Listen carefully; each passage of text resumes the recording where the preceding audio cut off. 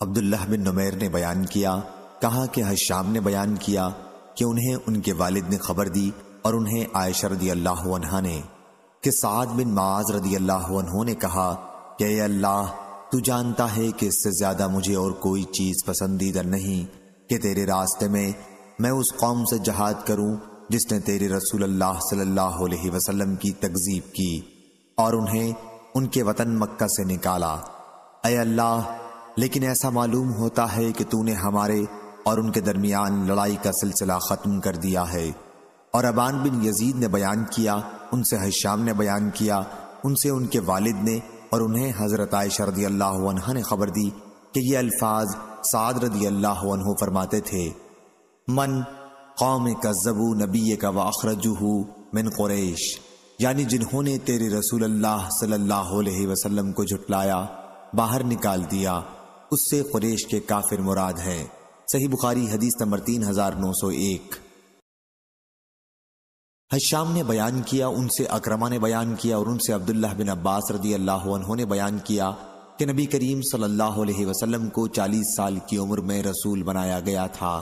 फिर आप सल्लल्लाहु अलैहि वसल्लम पर मक्का मुकर्रमा में तेरह साल तक वही आती रही। इसके बाद आपको हिजरत का हुक्म हुआ और आपने हिजरत की हालत में दस साल गुजारे। मदीना में।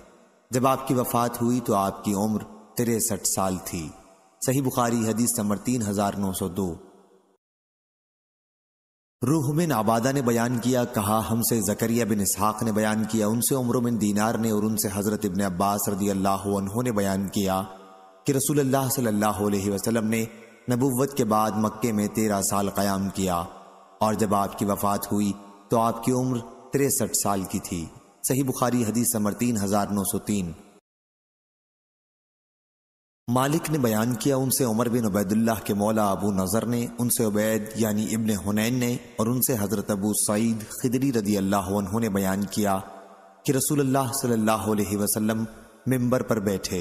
फिर फरमाया, अपने एक नेक बंदे को अल्लाह ताला ने इख्तियार दिया कि दुनिया की नेमतों में से जो वो चाहे उसे अपने लिए पसंद कर ले, या जो अल्लाह ताला के यहाँ है आखिरत में उसे पसंद कर ले। उस बंदे ने अल्लाह ताला के यहाँ मिलने वाली चीज़ को पसंद कर लिया। इस पर हज़रत अबू बकर अल्लाह रोने लगे और अर्ज़ किया, हमारे माँ बाप आप पर फिदा हों। हज़रत अबू सईद कहते हैं, हमें हज़रत अबू बकर अल्लाह के इस रोने पर हैरत हुई। बाज लोगों ने कहा, इन बुज़ुर्गों को देखिए।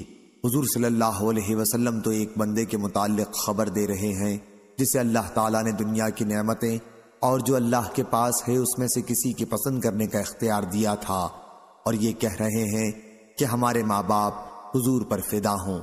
लेकिन रसूल अल्लाह सल्लल्लाहु अलैहि वसल्लम ही को इन दो चीज़ों में से एक का इख्तियार दिया गया। और हज़रत अबू बकर अल्लाह हम में सबसे ज़्यादा इस बात से वाकिफ थे। और रसूल अल्लाह सल्लल्लाहु अलैहि वसल्लम ने फरमाया था कि लोगों में सबसे ज़्यादा अपनी सोहबत और माल के ज़रिए मुझ पर सिर्फ़ एक अबू बकर हैं। अगर मैं अपनी उम्मत में से किसी को अपना खलील बना सकता तो अबू बकर रदी अल्लाह को बनाता। अलबत्ता इस्लामी रिश्ता उनके साथ काफ़ी है। मस्जिद में कोई दरवाज़ा अब खुला हुआ बाकी न रखा जाए, सिवाय अबू बकर रदी अल्लाह के घर की तरफ़ खुलने वाले दरवाजे के। सही बुखारी हदीस नंबर तीन हज़ार नौ सौ चार। लहस ने बयान किया, उनसे अकील ने कि इब्ने शहाब ने बयान किया। उन्हें उर्वा बिन जुबैर ने खबर दी और उनसे नबी करीम सल्लल्लाहु अलैहि वसल्लम की जोज मुतहरा हज़रत आयशा अल्लाह ने बयान किया कि जब मैंने होश संभाला तो मैंने अपने माँ बाप को दीन इस्लाम ही पर पाया और कोई दिन ऐसा नहीं गुजरता था जिसमें रसूल करीम सल्लल्लाहु अलैहि वसल्लम हमारे घर सुबह शाम दोनों वक्त तशरीफ़ न लाते हों। फिर जब मक्के में मुसलमानों को सताया जाने लगा तो हज़रत अबू बकर हबशे की हिजरत का इरादा करके निकले। जब आप मकाम बरगुलगमात पर पहुँचे तो आपकी मुलाकात इबन दगना से हुई, जो कबील कारा का सरदार था। उसने पूछा, अबू बकर कहाँ का इरादा है? उन्होंने कहा कि मेरी कौम ने मुझे निकाल दिया है। अब मैंने इरादा कर लिया है कि मुल्क मुल्क की सयाहत करूँ और आज़ादी के साथ अपने रब की इबादत करूँगा। इब्न दगना ने कहा, लेकिन अबू बकर तुम जैसे इंसान को अपने वतन से न खुद निकलना चाहिए और न उसे निकाला जाना चाहिए। तुम मोहताजों की मदद करते हो, सिला रहमी करते हो, बेकसों का बोझ उठाते हो, मेहमान नवाजी करते हो और हक पर कायम रहने की वजह से किसी पर आने वाली मुसीबतों में उसकी मदद करते हो। मैं तुम्हें पनाह देता हूँ, वापस चलो और अपने शहर ही में अपने रब की इबादत करो। चुनाचा वो वापस आ गए और इब्न दगना भी आपके साथ वापस आया।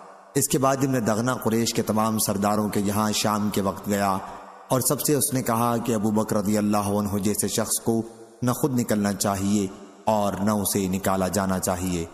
क्या तुम ऐसे शख्स को निकाल दोगे जो मोहताजों की इमदाद करता है, सिला रहमी करता है, बेकसों का बोझ उठाता है, मेहमान नवाजी करता है और हक की वजह से किसी पर आने वाली मुसीबतों में उसकी मदद करता है? कुरेश ने अपने दगना की पनाह से इनकार नहीं किया। सिर्फ़ इतना कहा कि अबू बकर अल्लाह से कह दो कि अपने रब की इबादत अपने घर के अंदर ही किया करें।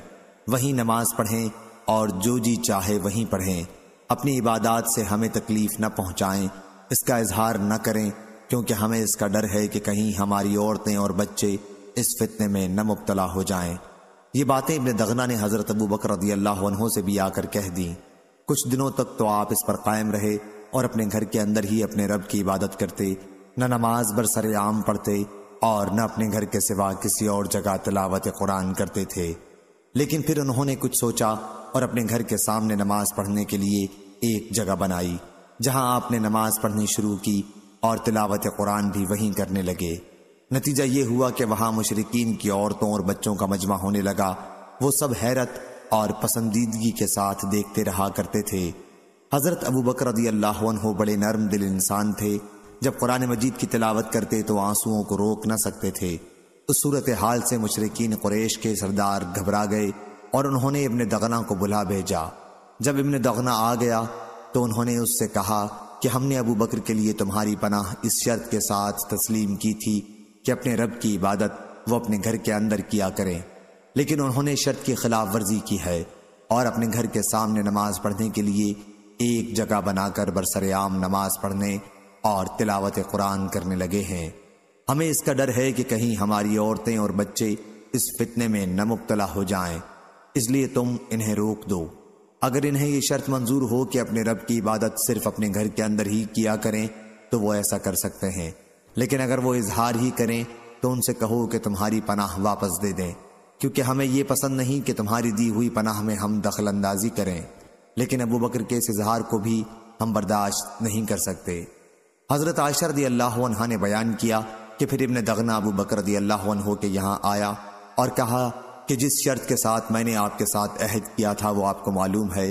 अब या आप इस शर्त पर कायम रहिए या फिर मेरे अहद को वापस कीजिए, क्योंकि ये मुझे गवारा नहीं कि अरब के कानों तक ये बात पहुँचे कि मैंने एक शख्स को पनाह दी थी, लेकिन उसमें कुरेश की तरफ़ से दखल अंदाजी की गई। इस पर हज़रत अबू बकर रदी अल्लाह ने कहा, मैं तुम्हारी पनाह वापस करता हूँ और अपने रब अज्जल की पनाह पर राज़ी और खुश हूँ। हुजूर अकरम वसल्लम उन दिनों मक्का में तशरीफ़ रखते थे। आपने मुसलमानों से फरमाया कि तुम्हारी हिजरत की जगह मुझे ख्वाब में दिखाई गई है। वहाँ खजूर के बागात हैं और दो पथरीले मैदानों के दरमियान वाक़ है। चुनाचा जिन्हें हिजरत करना था, उन्होंने मदीने की तरफ़ हिजरत की। और जो लोग सरजमीन हबशा हिजरत करके चले गए थे, वो भी मदीना चले आए। हज़रत अबू बकर अल्लाह ने भी मदीना हिजरत की तैयारी शुरू कर दी, लेकिन हुजूर सल्लल्लाहु अलैहि वसल्लम ने उनसे फरमाया कि कुछ दिनों के लिए तवक्कुफ करो। मुझे तो है कि हिजरत की इजाज़त मुझे भी मिल जाएगी। अबू बकर अल्लाह ने अर्ज़ किया, क्या वाकई आपको भी इसकी तो है? मेरे माँ बाप आप पर फिदा हूँ। हजूर सल्लल्लाहु अलैहि वसल्लम ने फरमाया कि हाँ। हज़रत अबू बकर ने हुजूर सल्लल्लाहु अलैहि वसल्लम की रिफाकत सफ़र के ख्याल से अपना इरादा मुलतवी कर दिया और दो ऊँटनियों को जो उनके पास थी, कीकर के पत्ते खिलाकर तैयार करने लगे चार महीने तक। इब्ने शहाब ने बयान किया, उनसे औरवा ने कि हज़रत आयशा रदी अल्लाह ने कहा, एक दिन हम अबू बकर रदी अल्लाह के घर बैठे हुए थे, भरी दोपहर थी कि किसी ने हज़रत अबू बकर रदी अल्लाह से कहा रसूल अल्लाह सल्लल्लाहु अलैहि वसल्लम सर पर रुमाल डाले तशरीफ़ ला रहे हैं। हुजूर का मामूल हमारे यहाँ उस वक्त आने का नहीं था। हज़रत अबू बकर बोले, हुजूर सल्लल्लाहु अलैहि वसल्लम पर मेरे माँ बाप फिदा हों। ऐसे वक्त में आप किसी खास वजह से ही तशरीफ़ लाए होंगे। उन्होंने बयान किया कि फिर हुजूर सल्लल्लाहु तशरीफ़ लाए और अंदर आने की इजाज़त चाही। अबू बकर ने आपको इजाज़त दी तो आप अंदर दाखिल हुए। फिर हुजूर सल्लल्लाहु अलैहि वसल्लम ने उनसे फरमाया इस वक्त यहाँ से थोड़ी देर के लिए सबको उठा दो। अबू बकर अल्लाह ने अर्ज़ किया, यहाँ इस वक्त तो सब घर के ही आदमी हैं। मेरे माँ बाप आप पर फिदा हों। या रसूल अल्लाह सल्लल्लाहु अलैहि वसल्लम। हुजूर सल्लल्लाहु अलैहि वसल्लम ने इसके बाद फरमाया कि मुझे हिजरत की इजाज़त दे दी गई है। अबू बकर ने अर्ज़ की, मेरे माँ बाप आप पर फिदा हों, या रसूल अल्लाह क्या मुझे रिफाकत सफ़र का शर्फ हासिल हो सकेगा? हुजूर सल्लल्लाहु अलैहि वसल्लम ने फरमाया कि हाँ उन्होंने अर्ज़ किया, या रसूल अल्लाह मेरे माँ बाप आप पर फिदा हों। इन दोनों में से एक ऊंचनी आप ले लीजिए। हुजूर सल्लल्लाहु अलैहि वसल्लम ने फरमाया, लेकिन कीमत से। हज़रत आयशा अल्लाह ने बयान किया कि फिर हमने जल्दी जल्दी इनके लिए तैयारियाँ शुरू कर दी और कुछ तोशा एक थैले में रख दिया। असमा बिनते अबी बकर अल्लाह ने अपने पटके के टुकड़े करके थैले का मुँह इससे बाँध दिया और इसी वजह से उनका नाम जात ताक पटके वाली पड़ गया। आयशा रदी अल्लाह ने बयान किया कि फिर रसूल अल्लाह सल्लल्लाहु अलैहि वसल्लम और अबू बकर रदी अल्लाह ने जबले सौर के गार में पड़ाव किया और तीन रातें वहीं गुजारी। अब्दुल्लाह बिन अबी बकर अल्लाह रात वहीं जाकर गुजारा करते थे। ये नौजवान बहुत समझदार थे और जहीन बेहद थे। सहर के वक्त वहाँ निकल आते और सुबह सवेरे ही मक्के पहुँच जाते, जैसे वहीं रात गुजरी हो। फिर जो कुछ यहाँ सुनते और जिसके ज़रिए उन हजरात के खिलाफ कार्रवाई के लिए कोई तदबीर की जाती तो उसे महफूज रखते। और जब अंधेरा छा जाता तो तमाम इतलात यहाँ आकर पहुंचाते। अबू बकर रदी अल्लाह के गुलाम, आमिर बिन फ़हीरा रदी अल्लाह आप हर दो के लिए करीब ही दूध देने वाली बकरी चराया करते थे। और जब कुछ रात गुजर जाती तो उसे गार में लाते थे। आप इसी पर रात गुजारते, उस दूध को गर्म लोहे के ज़रिए गर्म कर लिया जाता था सुबह मुँह अंधेरे ही आमिर बिन फहीरा रदी अल्लाह गार से निकल आते थे। उन तीन रातों में रोज़ाना का उनका यही दस्तूर था।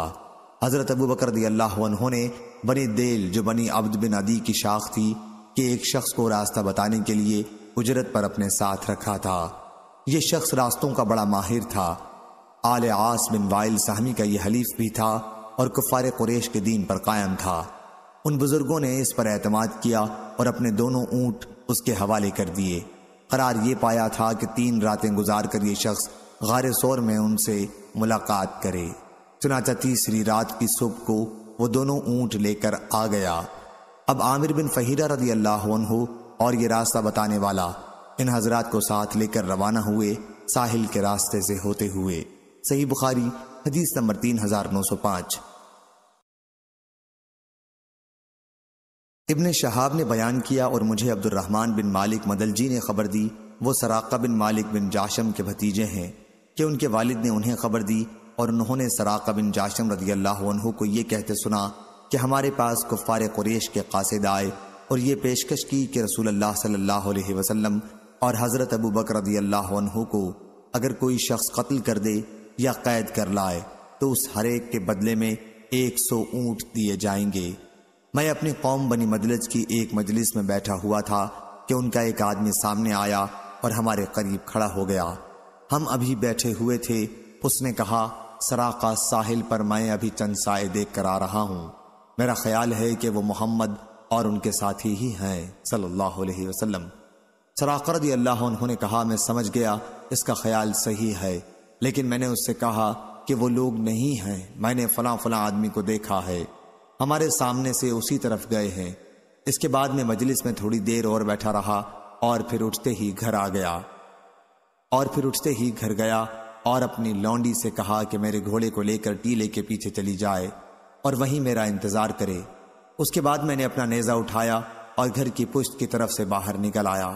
मैं नेजे की नोक से ज़मीन पर लकीर खींचता हुआ चला गया और ऊपर के हिस्से को छुपाए हुए था। सराका ये सब कुछ इसलिए कर रहा था कि किसी को खबर न हो वरना वो भी मेरे इनाम में शरीक हो जाएगा। मैं घोड़े के पास आकर उस पर सवार हुआ और सवार रफ्तारी के साथ उसे ले चला। जितनी जल्दी के साथ भी मेरे लिए मुमकिन था, आखिर मैंने उनको पा ही लिया। उसी वक्त घोड़े ने ठोकर खाई और मुझे ज़मीन पर गिरा दिया, लेकिन मैं खड़ा हो गया और अपना हाथ तरकश की तरफ़ बढ़ाया। उसमें से तीर निकाल कर मैंने फाल निकाली, क्या आया मैं उन्हें नुकसान पहुँचा सकता हूँ या नहीं। फाल अब भी वो निकली जिसे मैं पसंद नहीं करता था। लेकिन मैं दोबारा अपने घोड़े पर सवार हो गया और तीरों के फाल की परवाह नहीं की। फिर मेरा घोड़ा मुझे तेज़ी के साथ दौड़ाए लिए जा रहा था। आखिर जब मैंने रसूल अल्लाह सल्लल्लाहु अलैहि वसल्लम की करत सुनी, आ हज़रत सल्लल्लाहु अलैहि वसल्लम मेरी तरफ़ कोई तवज्जो नहीं कर रहे थे। लेकिन हज़रत अबू बकर अल्लाह बार बार मुड़कर देखते थे। तो मेरे घोड़े के आगे के दोनों पाँव ज़मीन में धंस गए। जब वो टखनों तक धंस गया तो मैं उसके ऊपर गिर पड़ा और उसे उठने के लिए डांटा। मैंने उसे उठाने की कोशिश की, लेकिन वो अपने पाँव ज़मीन से नहीं निकाल सका। बड़ी मुश्किल से जब उसने पूरी तरह खड़े होने की कोशिश की तो उसके आगे के पाँव से मुंतशिर सा गुबार उठकर धुएँ की तरह सामान की तरफ़ चढ़ने लगा। मैंने तीरों से फाल निकाली, लेकिन इस मरतबा भी वही फाल आई, जिसे मैं पसंद नहीं करता था। उस वक्त मैंने हज़रत सल्लल्लाहु अलैहि वसल्लम को अमान के लिए पुकारा। मेरी आवाज़ पर वो लोग खड़े हो गए, और मैं अपने घोड़े पर सवार होकर उनके पास आया। उन तक बुरे इरादे के साथ पहुँचने से जिस तरह मुझे रोक दिया गया था, उसी से मुझे यकीन हो गया था कि रसूल अल्लाह सल्लल्लाहु अलैहि वसल्लम की दावत गालिब आकर रहेगी। इसलिए मैंने हुजूर सल्लल्लाहु अलैहि वसल्लम से कहा कि आपकी कौम ने आपके मारने के लिए सौ ऊंटों के इनाम का ऐलान किया है? फिर मैंने आपको कुरेश के इरादों की इतला दी। मैंने उन हजरात की खिदमत में कुछ तोशा और सामान पेश किया, लेकिन हुजूर सल्लल्लाहु अलैहि वसल्लम ने उसे कबूल नहीं फरमाया। मुझसे किसी और चीज़ का भी मुतालबा नहीं किया। सिर्फ़ इतना कहा कि हमारे मुतालिक राजदारी से काम लेना। लेकिन मैंने अर्ज़ की कि आप मेरे लिए एक अमन की तहरीर लिख दीजिए। हजूर वसल्लम ने आमिर बिन फ़हीरा रदी अल्लाह को हुक्म दिया और उन्होंने चमड़े के एक रुक़े पर तहरीर अमन लिख दी। इसके बाद रसूल अल्लाह वसल्लम आगे बढ़े। इब्ने शहाब ने बयान किया और उन्हें उर्वा बिन ज़ुबैर ने खबर दी कि रसूल अल्लाह वसल्लम की मुलाकात ज़ुबैर रदी अल्लाह से हुई, जो मुसलमानों के एक तिजारती काफिले के साथ शाम से वापस आ रहे थे। ज़ुबैर रदी अल्लाह ने हजूर सल्लल्लाहु अलैहि वसल्लम और अबू बकर रदी अल्लाह की खिदमत में सफ़ेद पोशाक पेश की। उधर मदीने में भी मुसलमानों को हजूर सल्लल्लाहु अलैहि वसल्लम की मक्के से हिजरत की इतला हो चुकी थी और ये लोग रोज़ाना सुबह को मकाम हर्रा तक आते और इंतज़ार करते रहते। लेकिन दोपहर की गर्मी की वजह से दोपहर को उन्हें वापस जाना पड़ता था। एक दिन जब बहुत तवील इंतज़ार के बाद सब लोग वापस आ गए और अपने घर पहुँच गए तो एक यहूदी अपने एक महल पर कुछ देखने चढ़ा। उसने हज़रत सल्लल्लाहु अलैहि वसल्लम और आपके साथियों को देखा, सफ़ेद सफ़ेद चले आ रहे हैं या तेज़ी से जल्दी जल्दी आ रहे हैं। जितना आप नज़दीक हो रहे थे, उतनी ही दूर से पानी की तरह रेती का चमकना कम होता जाता था। यहूदी बेख्तियार चिल्ला उठा क्या यार अब के लोगों, तुम्हारे ये बुज़ुर्ग सरदार आ गए जिनका तुम्हें इंतज़ार था।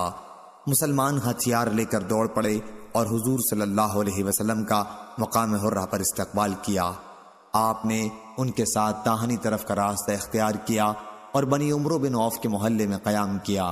ये रबी अव्वल का महीना और पीर का दिन था। अबू बकरदी अल्लाह लोगों से मिलने के लिए खड़े हो गए और रसूल अल्लाह सल्लल्लाहु अलैहि वसल्लम खामोश बैठे रहे। अंसार के जिन लोगों ने रसूल अल्लाह सल्लल्लाहु अलैहि वसल्लम को इससे पहले नहीं देखा था, वो अबू बकर रदी अल्लाह ही को सलाम कर रहे थे। लेकिन जब हुजूर अकरम सल्लल्लाहु अलैहि वसल्लम पर धूप पड़ने लगी तो हज़रत अबू बकर रदी अल्लाह ने अपनी चादर से हज़रत सल्लल्लाहु अलैहि वसल्लम पर साया किया। उस वक्त सब लोगों ने रसूल अल्लाह सल्लल्लाहु अलैहि वसल्लम को पहचान लिया। हुजूर अकरम सल्लल्लाहु अलैहि वसल्लम ने बनी उम्र बिन औफ में तकरीबन दस रातों तक कयाम किया। और वो मस्जिद कुबा, जिसकी बुनियाद तकवे पर कायम है, वो उसी दौरान में तामीर हुई और आपने उसमें नमाज़ पढ़ी। फिर जुमे के दिन हज़रत सल्लल्लाहु अलैहि वसल्लम अपनी ऊँटनी पर सवार हुए और सहाबा भी आपके साथ पैदल रवाना हुए। आखिर आपकी सवारी मदीन मुनवरा में उस मकाम पर आकर बैठ गई, जहाँ अब मस्जिद नबवी है। उस मकाम पर चंद मुसलमान उन दिनों नमाज़ अदा किया करते थे। ये जगह सुहेल और सहल तो यतीम बच्चों की थी। और खजूर का यहाँ खलियान लगता था। ये दोनों बच्चे हज़रत असद रदी अल्लाह बिन जरारा की परवरिश में थे। जब आपकी ऊँटनी वहाँ बैठ गई तो रसूल अल्लाह वसल्लम ने फरमाया इन यही हमारे क़याम की जगह होगी। इसके बाद आपने दोनों यतीम बच्चों को बुलाया और उनसे उस जगह का मामला करना चाहा, ताकि वहाँ मस्जिद तामीर की जा सके। दोनों बच्चों ने कहा कि, नहीं, या रसूल अल्लाह हम ये जगह आपको मुफ़्त दे देंगे। लेकिन हुजूर सल्लल्लाहु अलैहि वसल्लम ने मुफ़्त तौर पर कबूल करने से इनकार किया। ज़मीन की कीमत अदा करके ले ली और वहीं मस्जिद तामीर की। इसकी तामीर के वक्त खुद हुजूर अकरम सल्लल्लाहु अलैहि वसल्लम भी सहाबा रदी अल्लाह के साथ ईंटों के ढोने में शरीक थे। ईंट ढोते वक्त आप फरमाते जाते थे कि ये बोझ खैबर के बोझ नहीं है, बल्कि इसका अजर सवाब अल्लाह के यहाँ बाकी रहने वाला है। और इसमें बहुत तहारत और पाकी है। और आ, हज़रत सल्लल्लाहु अलैहि वसल्लम दुआ फरमाते थे क्या अल्लाह, अजर तो बस आखरत ही का है। पस तू अंसार और महाजरीन पर अपनी रहमत नाजिल फरमा। इस तरह आप सल्लल्लाहु अलैहि वसल्लम ने एक मुसलमान शायर का शेर पढ़ा, जिनका नाम मुझे मालूम नहीं। इब्ने शहाब ने बयान किया कि अहादीस से हमें यह अब तक मालूम नहीं हुआ, क्या हज़रत सल्लल्लाहु अलैहि वसल्लम ने उस शेर के सिवा किसी भी शायर के पूरे शेर को किसी मौके पर पढ़ा हो। सही बुखारी, हदीस नंबर तीन हज़ार नौ सौ छह। उसामा ने बयान किया, कहा, हमसे हशाम बिन औरवा ने बयान किया। उनसे उनके वालिद और फातिमा बिन मुंजर ने और उनसे असमा रदी अल्लाह ने कि जब नबी करीम सल्लल्लाहु अलैहि वसल्लम और हज़रत अबू बकर रदी अल्लाह मदीना हिजरत करके जाने लगे तो मैंने आप दोनों के लिए नाश्ता तैयार किया। मैंने अपने वालिद हज़रत अबू बकर से कहा कि मेरे पटके के सिवा और कोई चीज़ इस वक्त मेरे पास ऐसी नहीं जिससे मैं इस नाश्ते को बाँध दूँ। इस पर उन्होंने कहा कि फिर इसके दो टुकड़े कर लो। चुनाचा मैंने ऐसा ही किया और उस वक्त से मेरा नाम जातुन्नताकीन दो पटकों वाली हो गया। और इब्ने अब्बास रदी अल्लाह ने असमा को जातुन ताक कहा। सही बुखारी, हदीस नंबर तीन हज़ार नौ सौ सात। शौबा ने बयान किया, उनसे अबू इसहाक ने कहा, मैंने बरा बिन आजिब रदी अल्लाह से सुना। उन्होंने बयान किया, जब नबी करीम सल्लल्लाहु अलैहि वसल्लम मदीने के लिए रवाना हुए तो सराका बिन मालिक बिन जाशम ने आपका पीछा किया। आ हज़रत सल्लल्लाहु अलैहि वसल्लम ने उसके लिए बददुआ की तो उसका घोड़ा ज़मीन में धस गया। उसने अर्ज़ की कि मेरे लिए अल्लाह से दुआ कीजिए कि इस मुसीबत से निजात दे। मैं आपका कोई नुकसान नहीं करूँगा। आपने उसके लिए दुआ की, उसका घोड़ा ज़मीन से निकल आया। रसूल अल्लाह सल्लल्लाहु अलैहि वसल्लम को एक मरतबा रास्ते में प्यास मालूम हुई। इतने में एक चरवाहा गुजरा। अबू बकर अल्लाह ने बयान किया कि फिर मैंने एक प्याला लिया और उसमें रेवड़ की एक बकरी का थोड़ा सा दूध दोहा। वो दूध मैंने आपकी खिदमत में लाकर पेश किया, जिसे आपने नोश फरमाया कि मुझे खुशी हासिल हुई। सही बुखारी, हदीस नंबर तीन हज़ार नौ सौ आठ। अबू उसामा ने बयान किया, उनसे हुशाम बिन उर्वा ने, उनसे उनके वालिद ने और उनसे हज़रत असमा रदी अल्लाह अनहा ने कि अब्दुल्ला बिन जुबैर रदी अल्लाह उनके पेट में थे। उन्हीं दिनों जब हमल की मुद्दत भी पूरी हो चुकी थी, मैं मदीना के लिए रवाना हुई। यहाँ पहुंचकर मैंने कबा में पड़ाव किया और यहीं अब्दुल्ला रदी अल्लाह पैदा हुए। फिर मैं उन्हें लेकर रसूल करीम सल्लल्लाहु अलैहि वसल्लम की खिदमत में हाजिर हुई और आपकी गोद में उसे रख दिया। हज़रत सल्लल्लाहु अलैहि वसल्लम ने एक खजूर तलब फरमाई और उसे चबाकर आपने अब्दुल्ला रदी अल्लाह के मुँह में उसे रख दिया। चुनाचा सबसे पहली चीज़ जो अब्दुल्ला रदी अल्लाह के पेट में दाखिल हुई, वो हजूर अक्रम वसल्लम का मुबारक लुआब था। इसके बाद आपने उनके लिए दुआ फरमाई और अल्लाह से उनके लिए बरकत तलब की। अब्दुल्ला रदी अल्लाह सबसे पहले बच्चे हैं जिनकी पैदाइश हिजरत के बाद हुई। जकरिया के साथ इस रिवायत के मुताबिक खालिद बिन मुखलद ने की है। उनसे अली बिन मसहर ने बयान किया, उनसे हशाम ने, उनसे उनके वालिद ने और उनसे हज़रत असमा रदी अल्लाह ने कि जब नबी करीम सल्लल्लाहु अलैहि वसल्लम की खिदमत में हाजिर होने को निकली तो वो हामला थीं। सही बुखारी, हदीस नंबर तीन हज़ार नौ सौ नौ। कतीबा ने बयान किया उनसे अबू उसामा ने, उनसे हुशाम बिन औरवा ने, उनसे उनके बाप ने और उनसे हज़रत आयशा रदी अल्लाह ने बयान किया कि सबसे पहला बच्चा जो इस्लाम में हिजरत के बाद पैदा हुआ अब्दुल्ला बिन जुबैर रदी अल्लाह है। उन्हें लोग नबी करीम सल्लल्लाहु अलैहि वसल्लम की खिदमत में लाए तो हज़रत सल्लल्लाहु अलैहि वसल्लम ने एक खजूर लेकर उसे चबाया, फिर उसको उनके मुँह में डाल दिया। इसलिए सबसे पहली चीज़ जो उनके पेट में गई, वो हज़रत सल्लल्लाहु का लुआब मुबारक था। सही बुखारी हदीस नंबर तीन हज़ार नौ सौ दस। अब्दुल समद ने बयान किया, कहा, मुझसे मेरे बाप अब्दुल वारिस ने बयान किया, उनसे अब्दुल अज़ीज़ बिन सोहेब ने बयान किया और उनसे अनस बिन मालिक रदी अल्लाह ने बयान किया। उन्होंने कहा कि नबी करीम सल्लल्लाहु अलैहि वसल्लम जब मदीना तशरीफ़ लाए तो हज़रत अबू बर सिद्दीक रदी अल्लाह आपकी सवारी पर पीछे बैठे हुए थे। हज़रत अबू बकर बूढ़े हो गए थे और उनको लोग पहचानते भी थे। लेकिन हुजूर अकरम वसल्लम अभी जवान मालूम होते थे और आपको लोग आमतौर से पहचानते भी न थे। बयान किया कि अगर रास्ते में कोई मिलता और पूछता, क्या अबू बकर, ये तुम्हारे साथ कौन साहब हैं? तो आप जवाब देते कि, ये मेरे हादी हैं, मुझे रास्ता बताते हैं।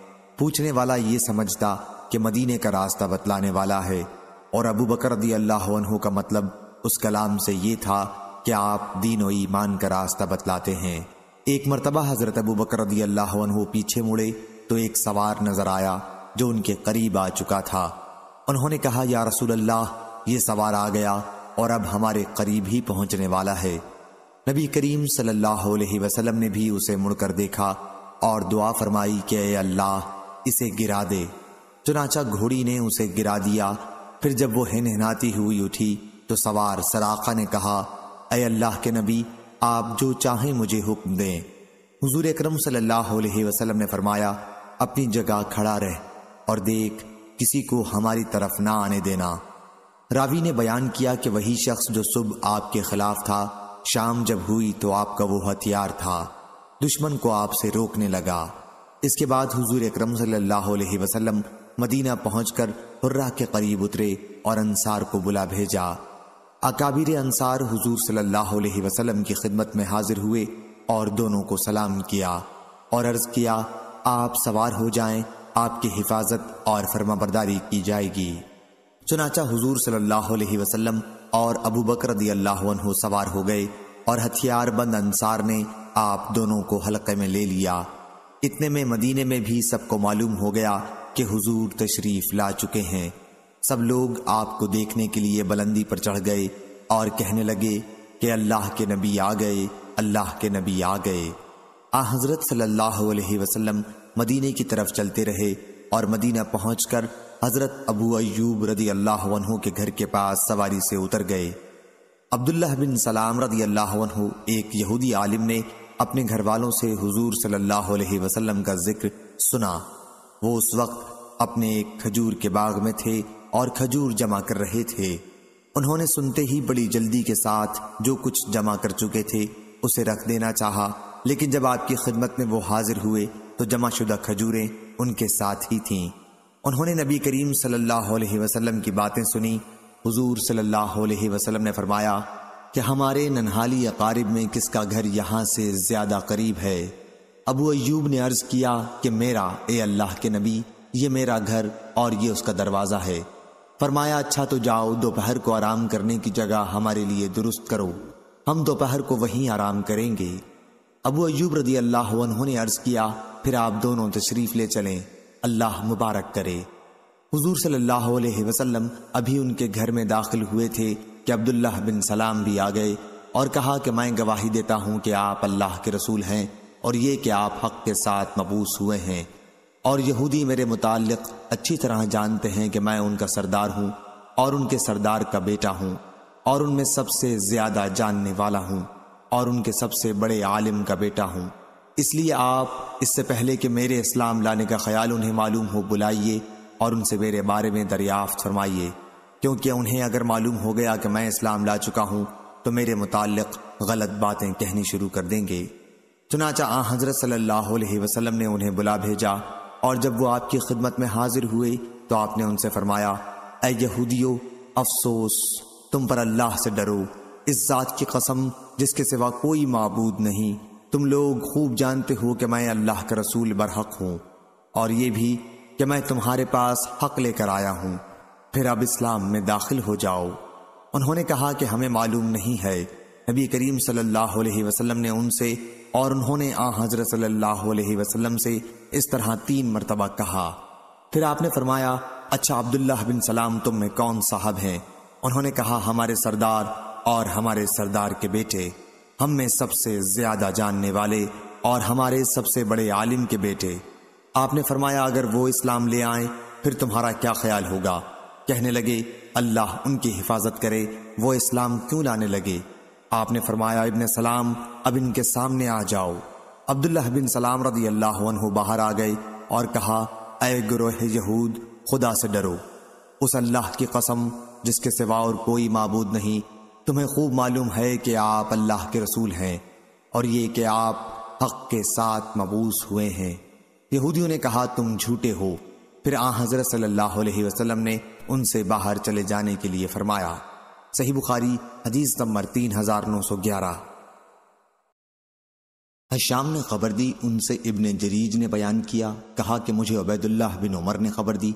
उन्हें नाफे ने, यानी इब्ने उमर रदी अल्लाह से, और उनसे उमर बिन खत्ताब रदी अल्लाह ने फरमाया, आपने तमाम महाजरीन अवलिन का वजीफा अपने अहद खिलाफत में चार चार हज़ार चार चार किस्तों में मुकर कर दिया था। लेकिन अब्दुल्ला बिन उमर रदी अल्लाह वजीफा चार किस्तों में साढ़े तीन हज़ार था। इस पर उनसे पूछा गया कि अब्दुल्ला बिन उमर अल्लाह भी महाजरीन में से हैं, फिर आप उन्हें चार हज़ार से कम क्यों देते हो? तो हज़रत उमर अल्लाह ने कहा कि उन्हें उनके वालदेन हिजरत करके यहाँ लाए थे, इसलिए वो उन महाजरीन के बराबर नहीं हो सकते जिन्होंने खुद हिजरत की थी। सही बुखारी, हदीस नंबर तीन हज़ार नौ सौ बारह। सुफियान ने खबर दी उन्हें, आमिश ने, उन्हें Abu Wail Shafiq bin Salama ने और उनसे खुबाब रदी अल्लाह ने बयान किया कि हमने रसूल अल्लाह सल्लल्लाहु अलैहि वसल्लम के साथ हिजरत की थी। सही बुखारी, हदीस नंबर तीन हज़ार नौ सौ तेरह। दूसरी सनद मुस्दद ने बयान किया, कहा उनसे याहिया बिन सईद कतान ने बयान किया, उनसे आमिश ने, उन्होंने शफीक बिन सलमा से सुना, कहा कि हमसे खुबाब रदी अल्लाह ने बयान किया कि हमने रसूल अल्लाह सल्लल्लाहु अलैहि वसल्लम के साथ हिजरत की तो हमारा मकसद सिर्फ़ अल्लाह की रजा थी और अल्लाह ताला हमें उसका अजर भी ज़रूर देगा। बस हम में से बाज तो पहले ही इस दुनिया से उठ गए और यहाँ अपना कोई बदला उन्होंने नहीं पाया। मुसब बिन उमैर रदी अल्लाह भी उन्हीं में से हैं। अहद की लड़ाई में उन्होंने शहादत पाई और उनके कफन के लिए हमारे पास एक कंबल के सिवा और कुछ नहीं था। और वो भी ऐसा कि अगर उससे हम उनका सर छुपाते तो उनके पाँव खुल जाते और अगर पाँव छुपाते तो सर खुला रह जाता। चुनाचा हुजूर सल्लल्लाहु अलैहि वसल्लम ने हुक्म दिया कि उनका सर छुपा दिया जाए और पाँव को अजखर घास से छुपा दिया जाए। और हम में बाज वो हैं जिन्होंने अपने अमल का फल इस दुनिया में पुख्ता कर लिया और अब वो इसको खूब चुन रहे हैं। सही बुखारी, हदीस नंबर तीन हज़ार नौ सौ चौदह। रूह ने बयान किया, उनसे औफ ने बयान किया, उनसे माविया बिन क़राह ने बयान किया कि मुझसे अबू बुरदा बिन अबू मूसा आशारी ने बयान किया। उन्होंने बयान किया कि मुझसे अब्दुल्ला बिन उमर रदी अल्लाह ने बयान किया। क्या तुमको मालूम है, मेरे वालिद उमर रदी अल्लाह ने तुम्हारे वालिद अबू मूसा आशारी रदी अल्लाह को क्या जवाब दिया था?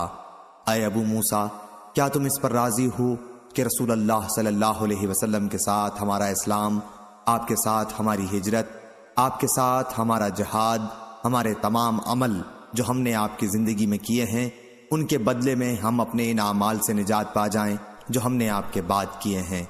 गो वो नेक भी हों, बस बराबरी पर मामला ख़त्म हो जाए। इस पर आपके वालिद ने मेरे वालिद से कहा, खुदा की कसम, मैं इस पर राज़ी नहीं हूँ।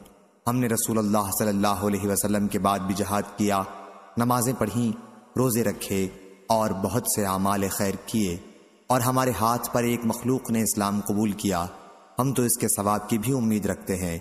इस पर मेरे वालिद ने, खैर अभी तुम समझो, लेकिन जहाँ तक मेरा सवाल है तो उस ज़ात की कसम जिसके हाथ में मेरी जान है, मेरी ख्वाहिश है कि हुजूर अकरम सल्लल्लाहु अलैहि वसल्लम की ज़िंदगी में किए हुए हमारे अमाल महफूज रहे हों।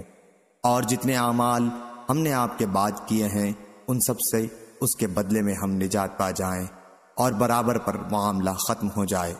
अबू बुरदा कहते हैं, उस पर मैंने कहा, अल्लाह की कसम, आपके वालिद हज़रत उमर रदी अल्लाह मेरे वालिद अबू मूसा रदी अल्लाह से बेहतर थे। सही बुखारी, हदीस नंबर तीन हज़ार नौ सौ पंद्रह। मोहम्मद बिन सबाह ने खुद बयान किया या उनसे किसी और ने नकल करके बयान किया? कहा, हमसे इस्माइल बिन अलह ने, उनसे आसिम अहोल ने, उनसे अबू उस्मान ने बयान किया। और उन्होंने कहा कि इबन उमर रदी अल्लाह से मैंने सुना कि जब उनसे कहा जाता कि तुमने अपने वालिद से पहले हिजरत की तो वो गुस्सा हो जाया करते थे। उन्होंने बयान किया कि मैं उमर रदी अल्लाह के साथ रसूल अल्लाह सल्लल्लाहु अलैहि वसल्लम की खिदमत में हाजिर हुआ। उस वक्त आप आराम फरमा रहे थे। इसलिए हम घर वापस आ गए। फिर उमर रदी अल्लाह ने मुझे आपकी खिदमत में भेजा और फरमाया कि जाकर देख आओ, हुजूर सल्लल्लाहु अलैहि वसल्लम अभी बेदार हुए या नहीं। चुनाचा में आया, आ हज़रत सल्लल्लाहु अलैहि वसल्लम बेदार हो चुके थे। इसलिए अंदर चला गया और आप सल्लल्लाहु अलैहि वसल्लम के हाथ पर बेअत की।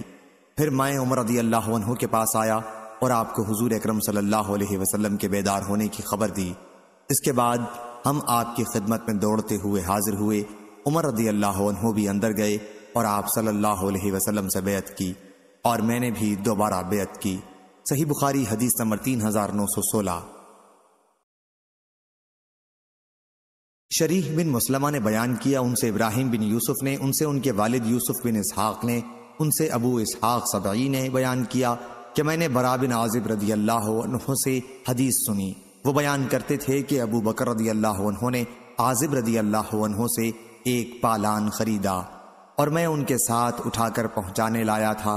उन्होंने बयान किया कि अबू बकर रदी अल्लाह से आजिब रदी अल्लाह ने रसूल अल्लाह सल्लल्लाहु के सफ़र हिजरत का हाल पूछा।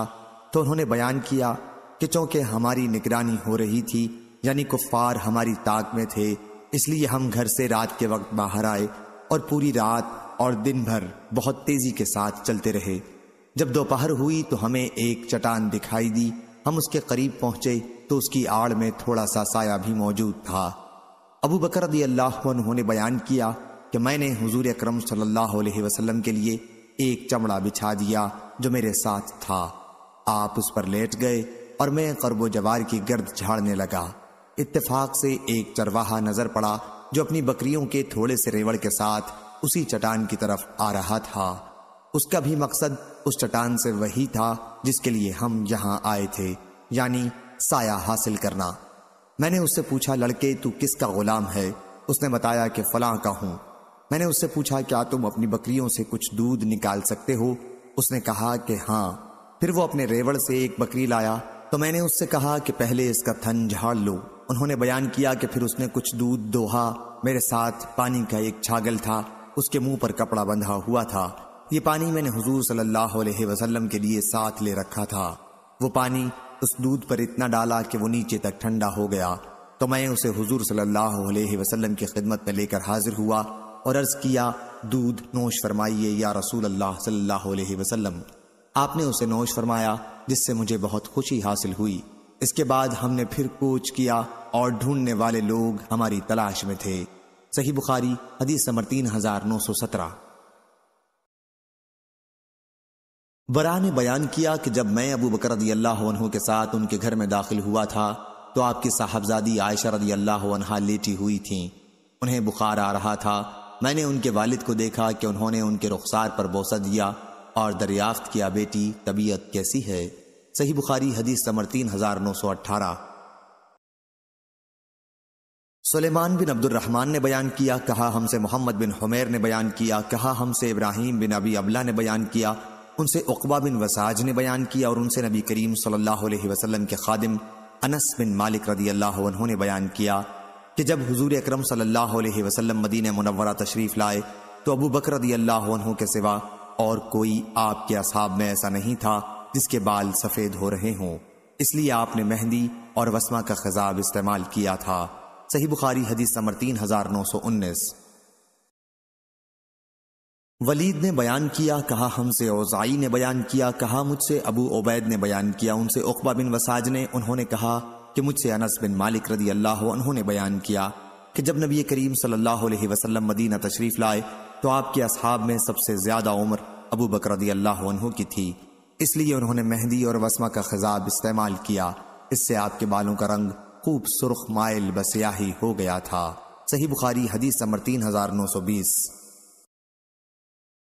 अब्दुल्ला बिन वहाब ने बयान किया, उनसे यूनुस ने, उनसे इबन शहाब ने, उनसे उर्वा बिन जुबैर ने, उनसे आयशा रदी अल्लाह ने, कि हज़रत अबू बकर रदी अल्लाह ने कबीला बनु कल्ब की एक औरत उम्म बकर नामी से शादी कर ली थी। फिर जब उन्होंने हिजरत की तो उसे तलाक दे आए। उस औरत से फिर उसके चचाजाद भाई, अबू बकर शद्दाद बिन असवद ने शादी कर ली थी। ये शख्स शायर था और उसी ने यह मशहूर मरसिया कुफ़ार कुरेश के बारे में कहा था। मकाम बद्र के कुओं को मैं क्या कहूँ कि उन्होंने हमें दरख्त शीजा के बड़े बड़े प्यालों से महरूम कर दिया, जो कभी ऊँट को कोहान के गोश्त से भी बेहतर हुआ करते थे। मैं बद्र के कुओं को क्या कहूँ उन्होंने हमें गाने वाली लौंडियाँ और अच्छे शराबियों से महरूम कर दिया। उम्म बकर, तू मुझे सलामती की दुआ देती रही, लेकिन मेरी कौम की बर्बादी के बाद मेरे लिए सलामती कहाँ है? ये रसूल हमें दोबारा ज़िंदगी की खबरें बयान करता है। कहीं उल्लू बन जाने के बाद फिर ज़िंदगी किस तरह मुमकिन है? सही बुखारी, हदीस नंबर तीन हज़ार नौ सौ इक्कीस। हमाम ने बयान किया, उनसे साबित ने, उनसे अनस रदी अल्लाह ने और उनसे अबू बकर रदी अल्लाह ने बयान किया कि मैं नबी करीम सल्लल्लाहु अलैहि वसल्लम के साथ गार में था। मैंने जो सर उठाया तो कौम के चंद लोगों के कदम बाहर नज़र आए। मैंने कहा, ए अल्लाह के नबी, अगर इनमें से किसी ने भी नीचे झुक कर देख लिया तो वो हमें ज़रूर देख लेगा। हुजूर सल्लल्लाहु अलैहि वसल्लम ने फरमाया, अबू बकर, खामोश रहो। हम ऐसे दो हैं कि जिनका तीसरा अल्लाह है। सही बुखारी हदीस नंबर तीन हज़ार नौ सौ बाईस। वलीद बिन मुस्लिम दमश्की ने बयान किया, कहा, हमसे इमाम ओजाई ने बयान किया, दूसरी सनद और मोहम्मद बिन यूसुफ ने बयान किया कि हमसे इमाम ओजाई ने बयान किया, कहा, मुझसे जाहरी ने बयान किया, कहा कि मुझसे आता बिन यजीद लैसी ने बयान किया, कहा कि मुझसे अबू सईद खदरी रदी अल्लाह उन्होंने बयान किया, कहा कि एक आराबी नबी करीम सल्लल्लाहु अलैहि वसल्लम की खिदमत में हाजिर हुआ और आपसे हिजरत का हाल पूछने लगा। आपने फरमाया, तुझ पर अफसोस। हिजरत तो बहुत मुश्किल काम है। तुम्हारे पास कुछ ऊँट भी हैं? उन्होंने कहा, जी हाँ हैं। फरमाया कि तुम उसकी जक़ात भी अदा करते हो। उन्होंने अर्ज़ किया, जी हाँ अदा करता हूँ। आपने फरमाया, ऊंटनियों का दूध दूसरे मोहताजों को भी दोहने के लिए दे दिया करते हो। उन्होंने अर्ज़ किया कि ऐसा भी करता हूँ। आपने फरमाया, उन्हें घाट पर ले जाकर मोहताजों के लिए दोहते हो। उन्होंने अर्ज़ किया, ऐसा भी करता हूँ। इस पर हुजूर सल्लल्लाहु अलैहि वसल्लम ने फरमाया कि फिर तुम सात समंदर पार अमल करो।